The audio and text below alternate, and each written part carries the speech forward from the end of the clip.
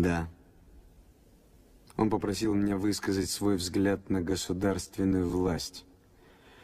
Его этот вопрос чрезвычайно интересовал. И что же ты сказал?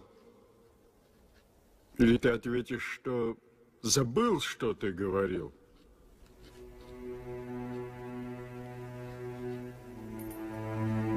В числе прочего я сказал, что всякая власть является насилием над людьми. И что настанет время, когда не будет власти ни кесарей, ни какой-либо иной власти. Человек перейдет в царство истины и справедливости, где вообще не будет надобна никакая власть. Далее. Далее ничего не было тут. Вбежали люди, стали вязать меня и повели в тюрьму.